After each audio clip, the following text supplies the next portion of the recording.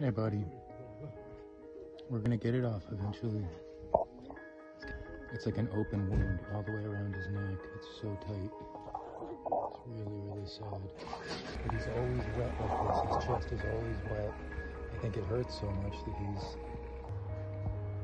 You can see that open wound, huh? This guy's in a whole lot of pain and discomfort. So many thanks to everybody who is supporting this mission. Everybody.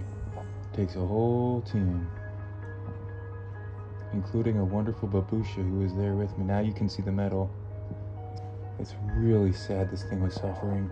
I just want to say again, thank you everybody who supported this mission. Everybody. Wow. This guy is gonna be really, really benefiting from it. Look how sweet he is.